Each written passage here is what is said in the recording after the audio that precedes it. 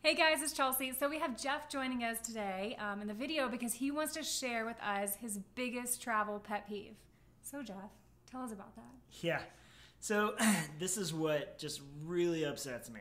So anytime we go anywhere, no matter what airport we're in, this always seems to happen. Whenever we land, we'll go to baggage claim. Chelsea will have Leon with her and our carry-on bag. They'll stand off to the side. I'll go up to the baggage claim carousel to get our checked bag.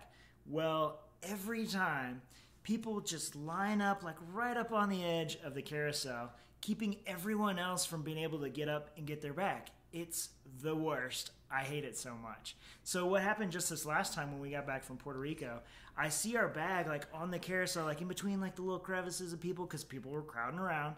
And so instead of being able to just walk right up and get it, no, no, I had to like walk around like 30 people to like find a spot to jump in and grab my bag real quick.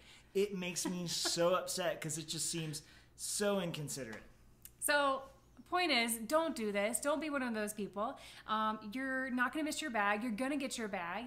And if you're one of those people and you're standing up, you find yourself standing up next to the baggage carousel, just remember this video and then take three giant steps back so it can leave room for other people to jump in there and get their bag. So no one has to like bring out their elbows and do this whole game. Like, let's just not do that. So, anyways, that's the point.